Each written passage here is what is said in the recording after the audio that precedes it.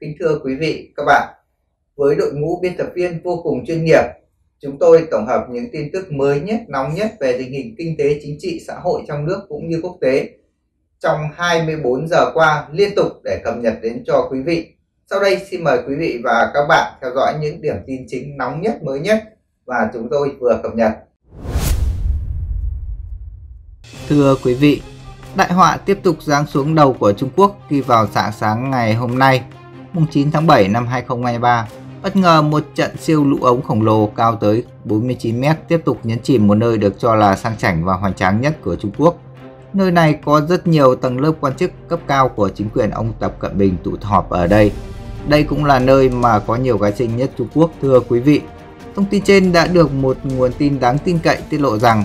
vào lúc 2 giờ 45 phút 58 giây sáng sáng ngày hôm nay, một trận lũ ống cao gần bằng một tòa nhà chung cư 20 tầng đã tàn phá qua ba tỉnh lũ Vũ Hán, Hồ Bắc và Hồ Nam, chạy dọc theo triền đê của một nhánh sông Dương Tử, xuyên qua tâm điểm con đập Tam Hiệp với một tốc độ khá nhanh và với một lưu lượng nước vô cùng lớn đã nhanh chóng vùi lấp sa phẳng một khu tự trị hoành tráng và vip nhất của Trung Quốc. Nơi này nằm cách con đường dẫn vào thị trấn Phượng Hoàng cổ trấn của Trung Quốc khoảng 30 km. Theo thống kê ban đầu, thiệt hại do trận siêu lũ ngày hôm qua gây ra là vô cùng thảm khốc. Điều này làm cho các tỉnh lân cận như Tứ Xuyên, Giang Tây, Giang Đông nằm kế bên cạnh vô cùng lo sợ, thưa quý vị. Theo các nhà quan sát cho biết, sự nổi dậy của đất, của trời, của mẹ thiên nhiên vào sáng sớm ngày hôm nay làm cho miền Nam của Trung Quốc đã thiệt hại nặng nề rồi nay lại càng bị thê thảm hơn.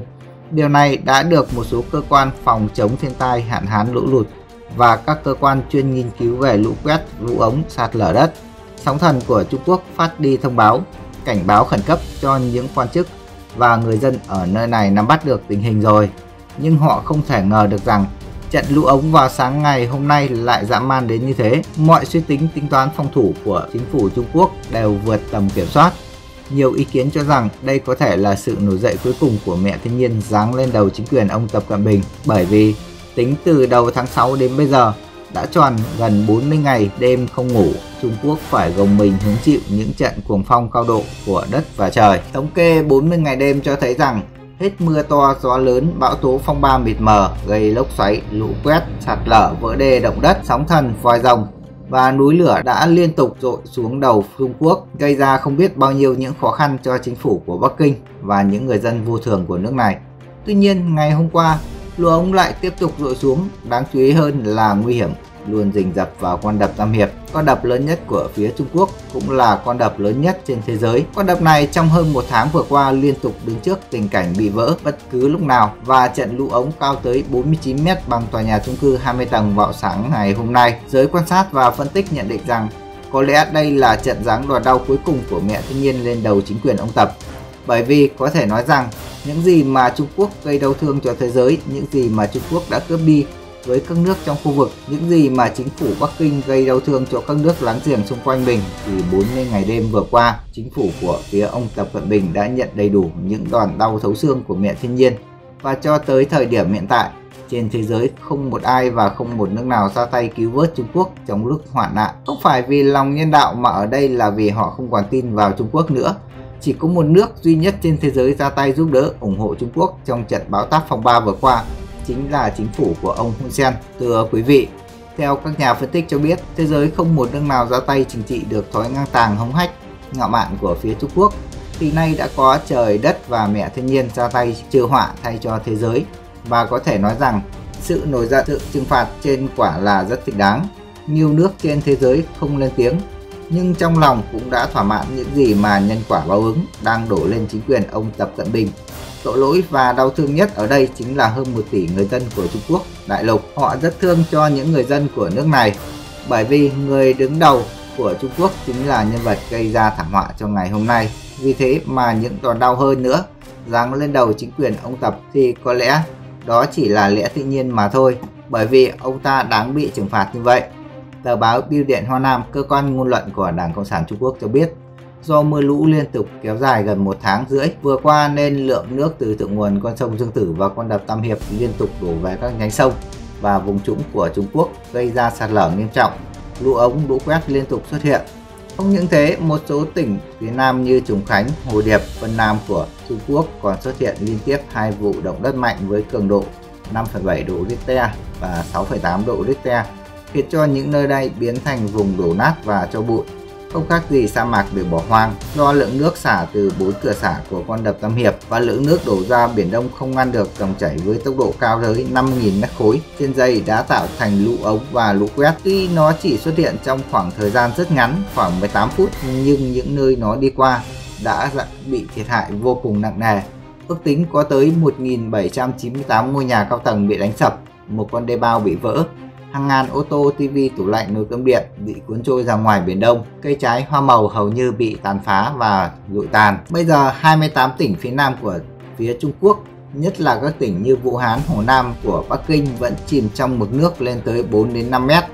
Thậm chí có nơi vùng trũng lên tới 9 đến 12 mét. Trên ảnh vệ tinh hoặc các video do người dân ở Phượng Hoàng Cổ Trấn ghi lại cảnh ngập lụt, ngập úng đều cho thấy rằng những ngôi nhà cao từ 9 đến 10 tầng bây giờ chỉ còn tầng trên cùng là không bị ngập. Những tầng dưới coi như bây giờ chỉ còn để nuôi cá và nuôi cua. Các nhà chuyên môn nhận định rằng thiệt hại mà thiên nhiên trừng phạt Trung Quốc là không thể quy ra bằng tiền được, bởi chính phủ Trung Quốc phải mất rất nhiều năm nữa chưa chắc khôi phục được hiện trạng như ban đầu. Dự báo trong những ngày tới, lượng mưa lũ quét sạt lở đất và sóng thần liên tục xảy ra tại 31 tỉnh, thành phố phía Nam của Trung Quốc và có thể gây ra cả những nơi khác xung quanh đó Trung Quốc còn tiếp tục nhận những tin được cho là xét đánh. Tin này được cho là rất đen tối với cả phía Trung Quốc khi các nhà phân tích cho biết rằng Vạn Lý Trường Thành, thủ đô Bắc Kinh của Trường Thiên An Môn là một trong điểm du lịch khét tiếng của Trung Quốc, là niềm tự hào của Bắc Kinh. Họ rất tự hào về những điểm du lịch này. Nhưng những nhà chuyên môn cho biết nếu như chính quyền của ông Tập Cận Bình không sám hối và không thay đổi tính nết thì rất có thể mẹ thiên nhiên trời đất sẽ nổi giận sa phẳng những nơi kể trên.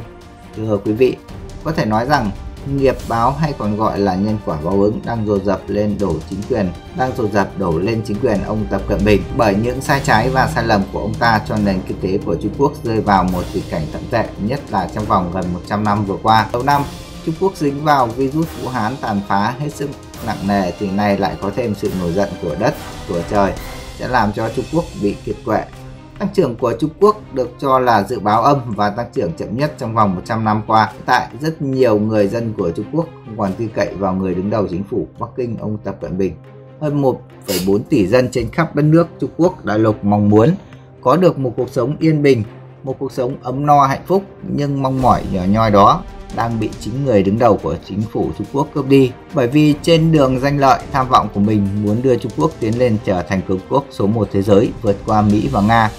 Chính ông Tập Cận Bình đã quá nóng vội, đã mắc phải quá nhiều sai lầm hết tội lỗi này đến tội lỗi kia và bây giờ ông ta đang bị cả thế giới quay lưng vì bị mất lòng tin. 14 nước láng giềng xung quanh Trung Quốc bây giờ chỉ còn có Pakistan, Nga là còn giữ mối quan hệ với cả Bắc Kinh.